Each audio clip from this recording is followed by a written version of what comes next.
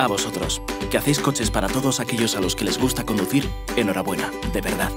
Habéis logrado que muchos conductores puedan disfrutar del viaje al máximo, ser la carretera, que cuando conduzcan, conduzcan, ¿no es así?